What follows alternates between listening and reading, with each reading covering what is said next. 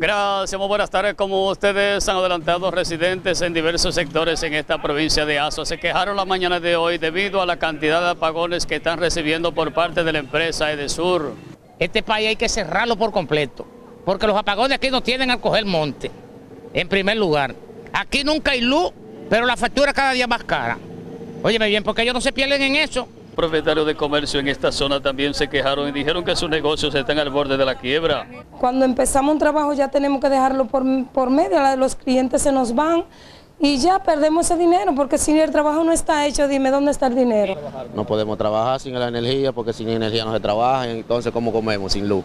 La queja de los usuarios en estos sectores también fueron dirigidas a la factura, que según dijeron todos los días llegan a un costo más alto. Sí, doble. Y me han llegado casos acá de denuncia de derechos humanos, gente que ha venido aquí, que me han traído facturas. Gente le tiran la factura de este mes y le tiran otra factura de que porque le faltó de que cobrar algo en algún mes. Oye. Moradores en estos sectores se quejaron ante la empresa de Sur, ya que según dijeron no dan la cara ante esta situación. Esta es toda la información que tengo desde Asua de Compostela. Ahora yo regreso con ustedes al centro de noticias.